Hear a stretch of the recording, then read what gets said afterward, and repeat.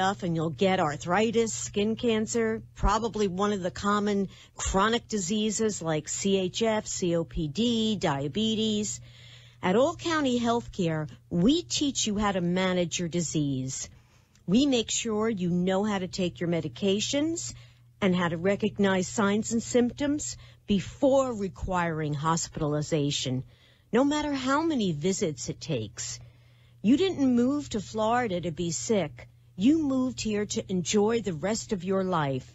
And that's exactly what our team of nurses, therapists, and aides at All County Healthcare help you do. The following programming is furnished by you and your doctor. The content, information, and opinions expressed during the related show are those of the show personalities and guest alone, and not those of Vic Canellis Media Group, its parent, affiliates, or stations. VCMG Live is not responsible for any content, information, or opinions expressed. User bears full responsibility for their reliance on such content, information, or opinions. Amp2.tv presents You and Your Doctor, teaching you to live a longer and healthier life. Proudly sponsored by All County Healthcare where people are the heart of our business. All County Healthcare is a Medicare certified agency where one call will service all your home care health needs. For more information, call 954 717 7027 or visit our website, allcountyhealthcare.com. Now, let's get informed to living a longer and healthier life. Here is your host for today's show. Welcome, everyone, and good evening. Welcome back to another episode of You and Your Doctor, sponsored by All County Healthcare. You're able to listen to us on on 96.9 and 95.3, and you're able to watch us on AMP2.tv. I'm your host, Raymond Phillips, and today we have a very special guest with us today, Dr. Zahra Khan. How are you doing today? Hi, I'm great. How are you? I'm doing very well, and we are all very excited to have you on our show tonight. Dr. Zahra Khan's office is located at 16215 South Jog Road, Suite 204, Delray Beach, Florida. And if you want to call her to make an appointment or schedule an appointment with Dr. Zahra, you're able to call them at 561 448 3848. Oh, I'm so excited to get into the interview today. Me too. So, just to get started today, how about you tell our guests and listeners a little bit about yourself and your background within your medical specialty?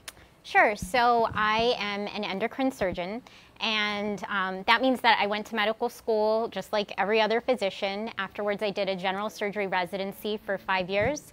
And then after that, I did another year of subspecialty training in endocrine surgery. And it was a year to take time to focus on um, the diagnosis, workup, and treatment um, of surgical diseases of the endocrine glands. Wow, that is a whole lot of schooling right there for sure. So, how many years in total did you go to school for?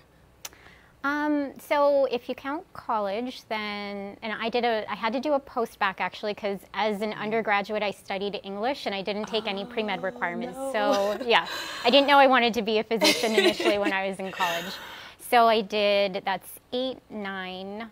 Um, 14 years. Wow. So 14 years after high school for schooling. Wow. You know what that means? You know your stuff. So, so endocrine surgery. So what does that entail? So um, the endocrine system controls um, a lot of things in the body. Um, endocrine glands are um, produce hormones that affect all, you know, all sorts of functions in the body: metabolism, uh, temperature, um, a lot, a lot of things, mm-hmm. but endocrine surgery specifically uh, refers to diseases of the thyroid gland, mm-hmm. the parathyroid glands, and the adrenal glands. Mm, that's very interesting. So, what are some common diseases that you see within the endocrine system that you deal with on a daily basis? So, um, most of the patients that I see have diseases of the thyroid gland. Mm-hmm. And um, thyroid dysfunction is a really hot topic right now because a lot of people um, a lot of people have overactive or underactive thyroid mm. um, disease.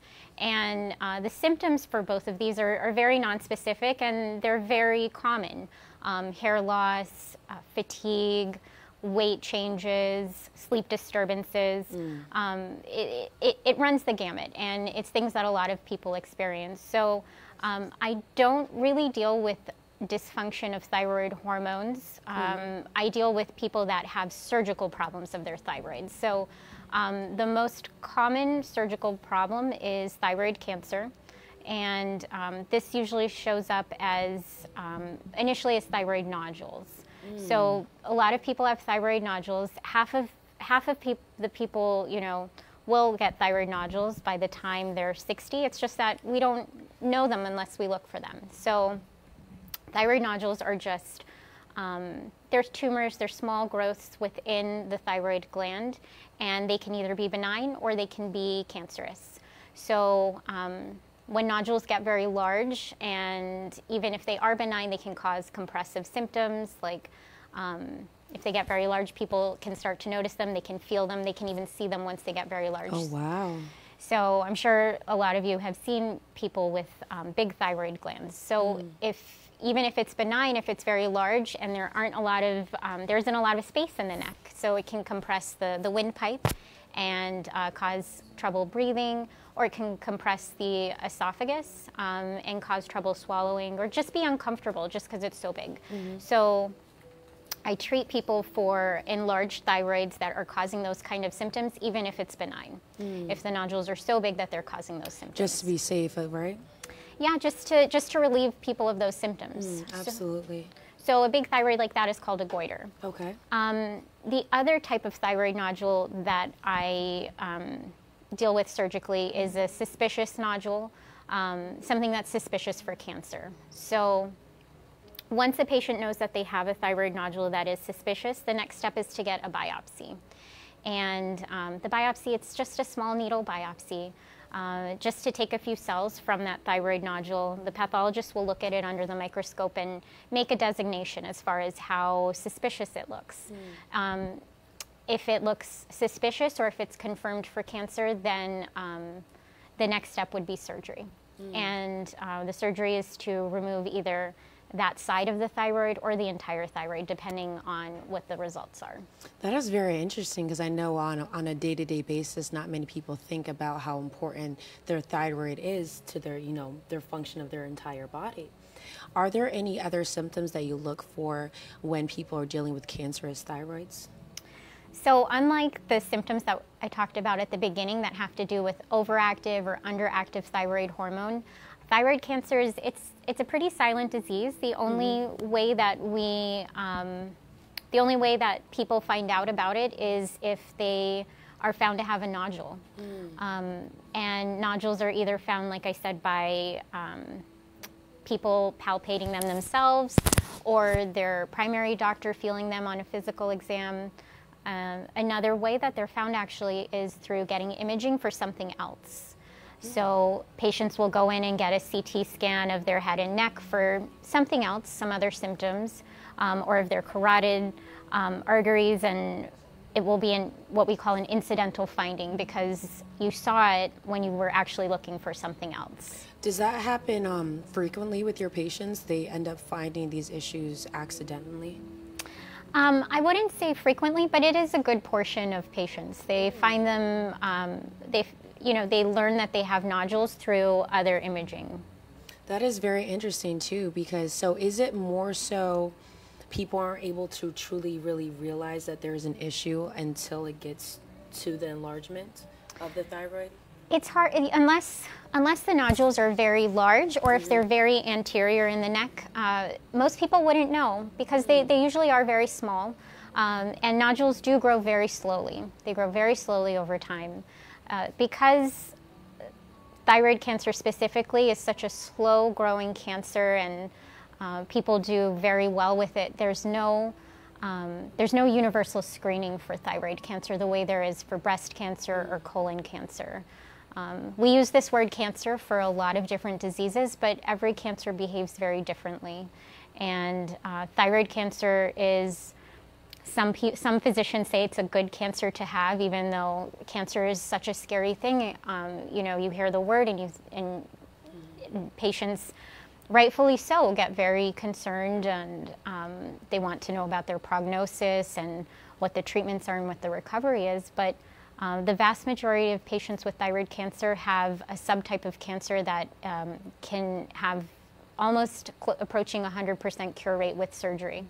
Wow, that's actually truly remarkable, though, because um, I can definitely attest to just the word cancer being so scary because I feel like so many people associate the word cancer with death. And, you know, being able to take care of yourself, take care of your loved ones, your children, your family is so important to so many people. So when they hear that they have cancer, it can be very, very intimidating. So, as a doctor and as a surgeon, how do you go about minimizing the stress that comes along with people being diagnosed with this type of cancer? I totally agree with you. I think that um, all of those things go through anyone's per, uh, mind once they, they know that they or one of their loved ones have a diagnosis of cancer. And I think the most important thing is um, is education. You know, having a discussion with, you know, between the patient and the physician um, to really understand what what does this diagnosis mean? How what is the treatment for it? How does it affect my prognosis? How does it affect my quality of life? And I feel like, you know, if you can talk to your physician once you have that diagnosis and really get on the same wavelength and get a good understanding of what all of those things mean. Mm-hmm. And um, it really helps to allay a lot of those fears. Mm. That makes total sense, though, because you know, just being educated on what's actually going on with your body kind of brings the tension down a little bit, especially for the patient. So, um, in your time working with the endocrine system, would you say that there's any age group that is um, particularly more vulnerable to thyroid cancer, or can it happen to anyone? So the majority of my patients are between uh, the ages of 40 and 60. This is the most common age um, that you know is affected by thyroid cancer. But thyroid cancer affects all ages. Mm-hmm. You know, it affects both genders, all ages. Um, it's the most common cause of cancer in women between the ages of 15 and 34. Wow. And uh, it can even affect children. There are some rare genetic syndromes that um, that lead to thyroid cancer in children as young as two years old.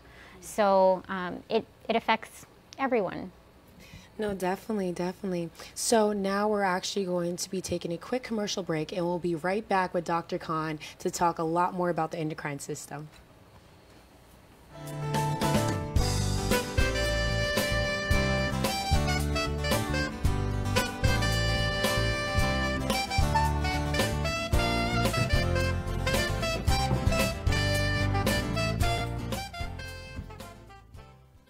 All County Healthcare has exciting news for any and all patients with COPD or other respiratory ailments. Listen to what renowned pulmonologist Dr. Keith Robinson has to say. Hello, I'm Dr. Keith Robinson, board certified pulmonologist, medical director at Fusion Health Pulmonary Rehabilitation, and a board member with the American Lung Association of South Florida. We have exciting news for patients with COPD.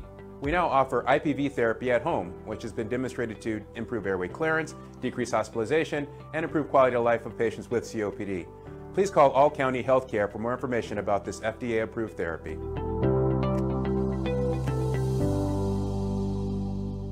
For further information, call All County Healthcare now at 954 717 7027 that is 954 717 7027 or visit our website at allcountyhealthcare.com. You can also find us on Facebook, YouTube, Twitter, Instagram, and LinkedIn. Remember, All County Healthcare always puts the patient's needs first. You are listening to You and Your Doctor Living Longer and Healthier, an informative show that helps you find answers to questions you always wanted to ask but did not have that somebody that could make a difference in your life. Call into the show if you have a question at 888 565 1470, and we will put you on the air to inform all our listeners. Now, back to our show. Welcome back to You and Your Doctor, sponsored by All County Healthcare.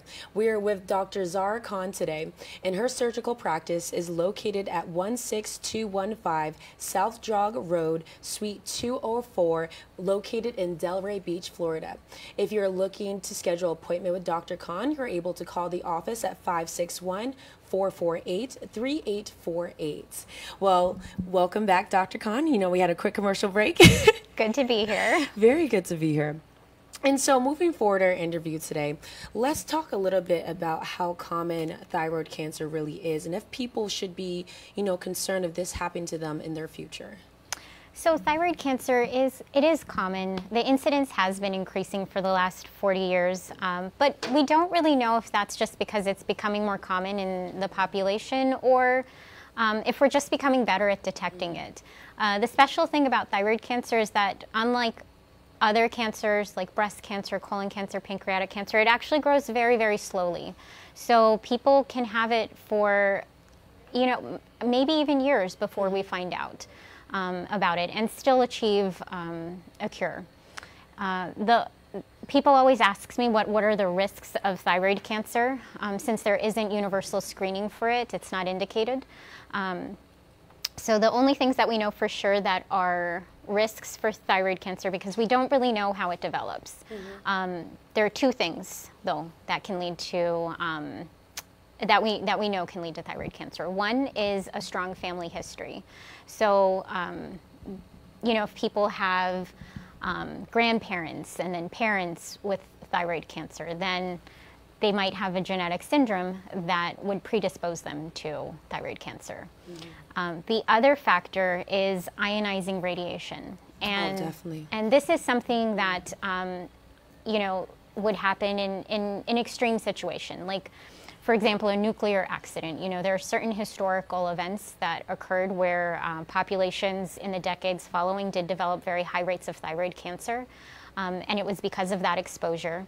Um, radiation exposure um, in the hospital with tests, you know, normal x-rays, CT scans, the amount of radiation that people receive through these sorts of tests are so, so small that they have not been shown to show any increased risk of thyroid cancer um, that being said, um, radiation, like external beam radiation therapy, such as, you know, if a patient had a previous history of head and neck cancer where they were receiving radiation directly to their head or their neck, mm-hmm. that can be a risk for thyroid cancer. Mm-hmm.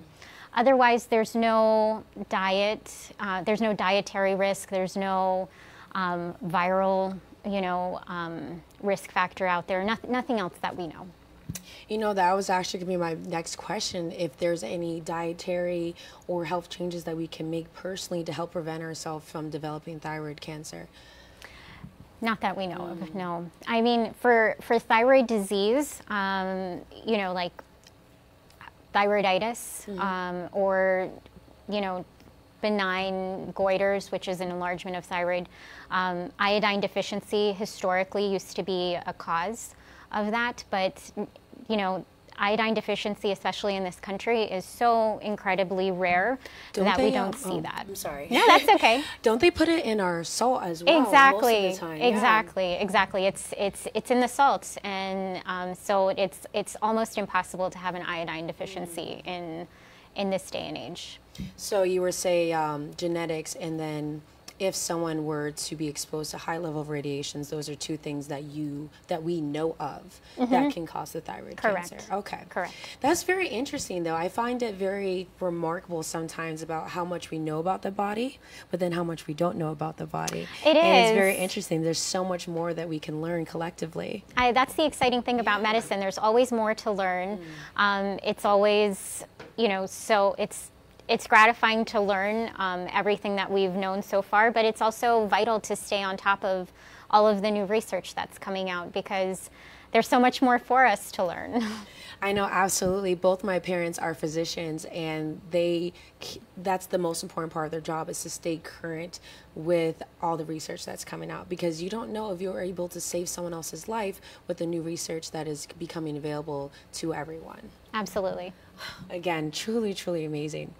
So, tell me a little bit about the recovery process that people with thyroid cancer will have to go through after their surgery. Sure. So um, this is something that a lot of patients have a lot of um, apprehension about naturally mm. because surgery is it's scary. I really, you know, I don't like to say oh it's just a minor procedure because I don't think there's any such thing as a minor procedure. Every surgery is is very um, you know, it's important. You know, you're going to sleep.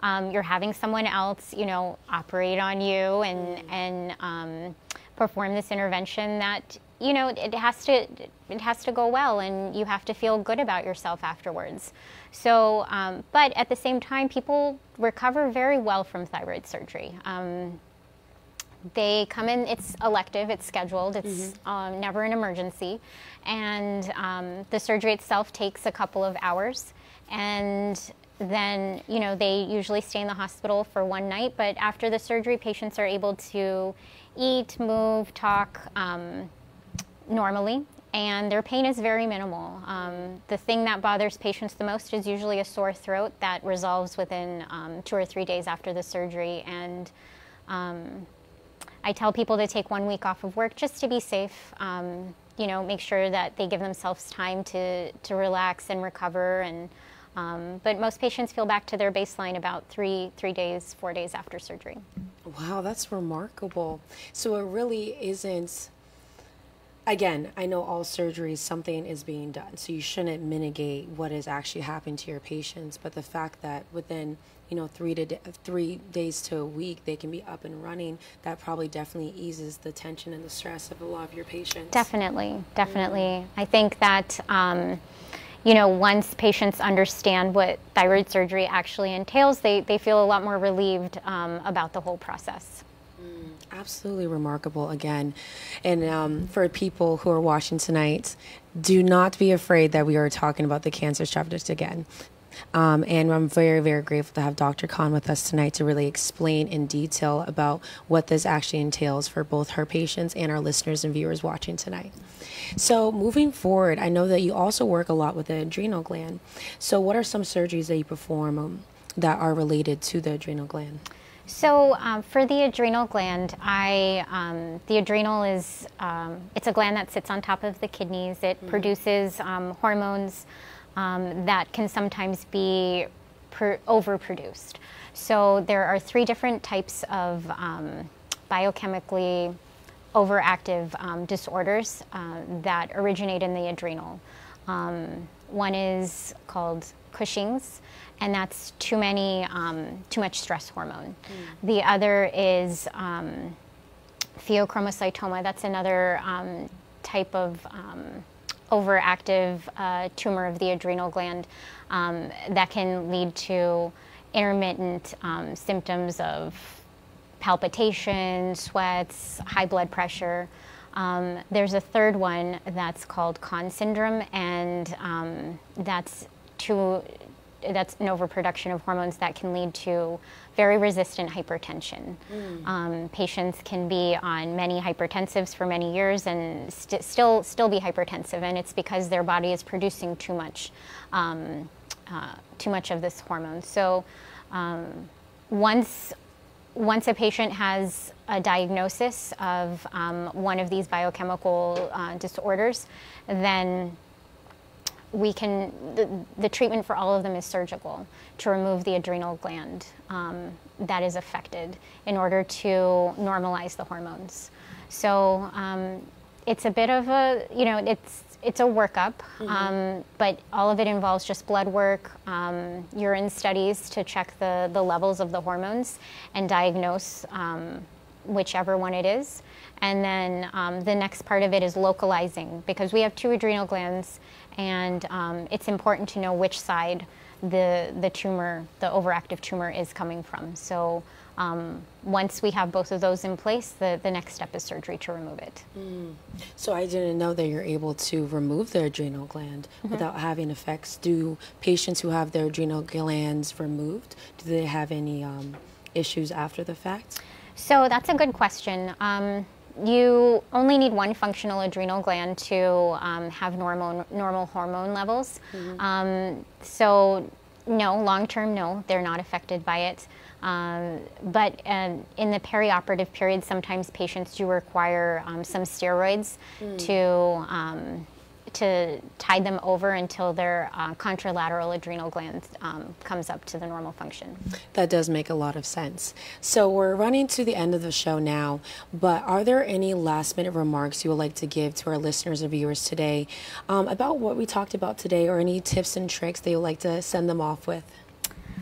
Um, I would say that, you know, um, for the thyroid, I, I, don't think that everyone needs to rush out and get their thyroid ultrasounded just as a baseline uh, because thyroid cancer is, you know, it's, it's, there's no screening for it because mm. it's so, even though it's common, um, it's usually found by the time that it is. Um, that it needs treatment. Mm. So I would say the only thing really to, to change and make sure that you do is just have your primary care physician palpate your thyroid um, every year at your annual exam and um, check your thyroid hormones if, if you feel that you're having any of these symptoms to make sure that they are um, within the normal range and don't need further treatment. Mm.